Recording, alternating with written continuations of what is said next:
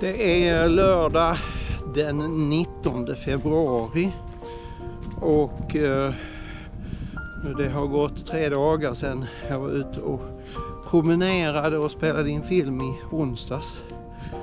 Och ni undrar kanske vad har hänt med depp,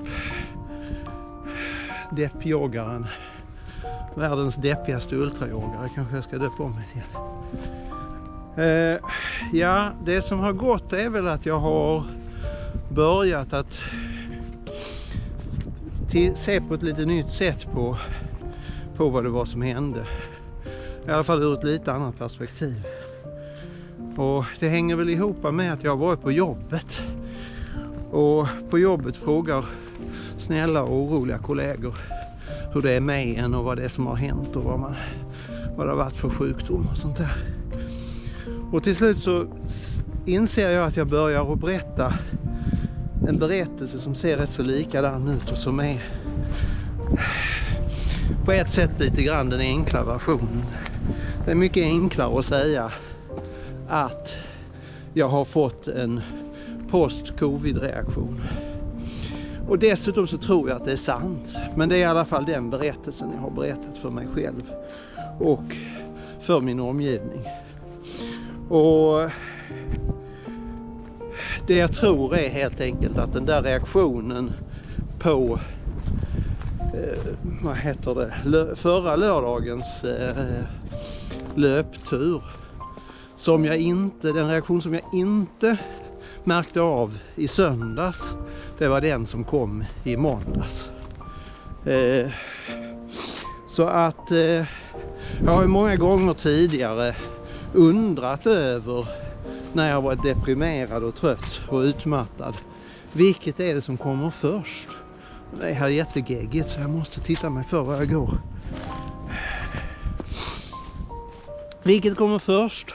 Tröttheten eller depressionen? Är jag deprimerad för att jag är trött eller är jag trött för att jag är deprimerad? Ofta är väl sanningen en blandning. Och jag brukar bli eh, deprimerad i eh, februari så det är inte så konstigt att jag tolkade det som hände ur den, den erfarenheten så att säga. Plask i plask igen här. Jag har tagit på mig fel skor. Så jag har haft de grova kängorna så jag bara kunde traska rätt igenom alla gyttjor. Nåväl. Och nog var jag deprimerad i måndag så det var liksom inget jag hittade på. Men eh, roten till det var nog att jag hade tagit i för mycket. Eh, det är tydligen så att det är rätt många som får sådana här reaktioner efter att man har haft covid.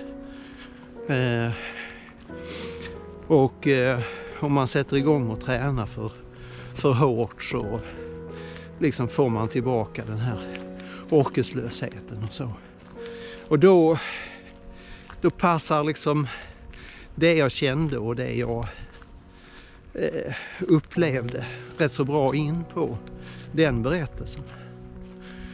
Men det är ju också intressant att vi använder berättelser som ett sätt att förstå världen och forma världen.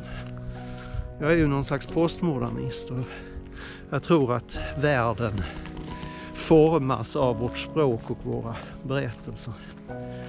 Eh, eh, och här är jag också lite inspirerad av min favoritförfattare Ursula Le Guin som till och med har eh, skrivit en science fiction-roman om, eh, om en värld där det är berättelsen som är det viktiga i världen.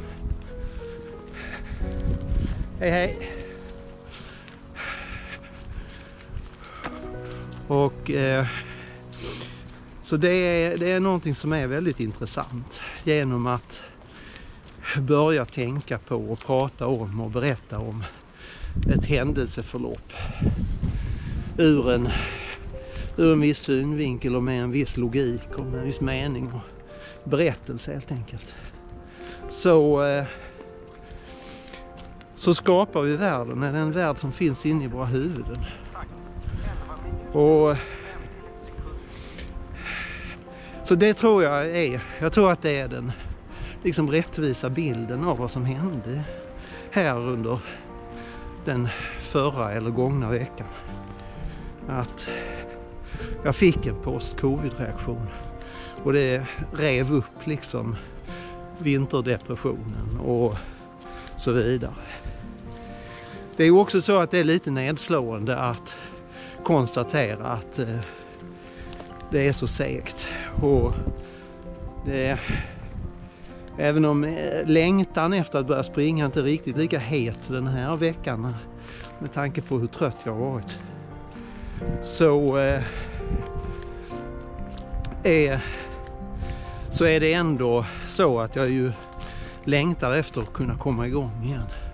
Men det gäller väl att hålla igen och tänka att man man får, eh, får ta det extremt, eller man, jag får ta det. Jag eh, får ta det extremt lugnt. Trappa upp lite i taget.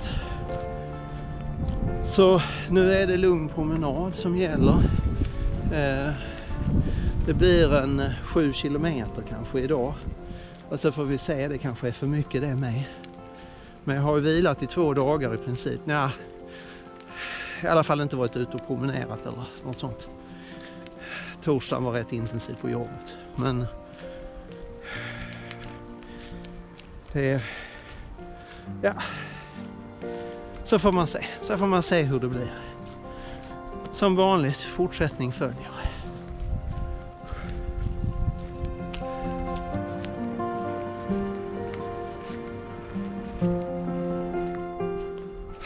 Ja, och sen så, så håller vinter-OS på att ta slut. Imorgon är det sista dagen. Sista chansen för de svenska längdskidåkarna att ta medalj. Eh, nej, det är inte sant för de tog faktiskt medalj i eh, damernas stafett så nu ljög jag. Men eh, någon individuell medalj har det inte blivit än. Så det har väl varit lite mindre än man kunde förvänta sig eller hoppas på i alla fall. Eh, den stackars Frida Karlsson har inte, har, har inte varit i form och försökt att tvinga sig fast hon inte borde och sådär. Men eh, annars har ju de svenska idrottarna skött sig föredömligt bra. Och samtidigt så pågår det någon slags eh, OS i diktatur också där eh, Kina nog tar guldet för eh, åsiktsförtryck och eh, förföljelse av minoriteter. Medan eh, Ryssland tar eh, hem eh, guldmedaljen i grenen krigshets och eh, maktspråk kanske.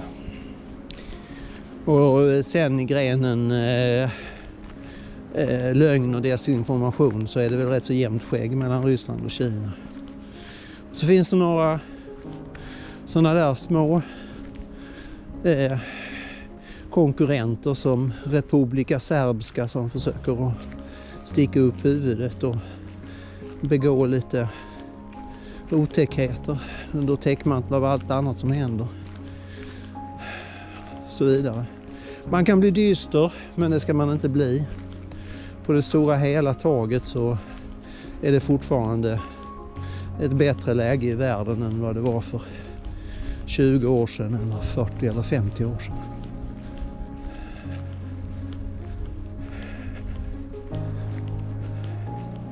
Och snart kommer våren. Det är nästan så att det finns en liten aning om det nu när jag går här i lä och inte känner av vinterstormen och solen tittar fram ibland mellan molnen. Det är bra, det behöver vi. Små glimtar av hopp små glädjeämnen. Någonting som får en att eh, känna att det är väl värt att fortsätta och kämpa på och göra gott i det lilla. Slut på dagens predikan.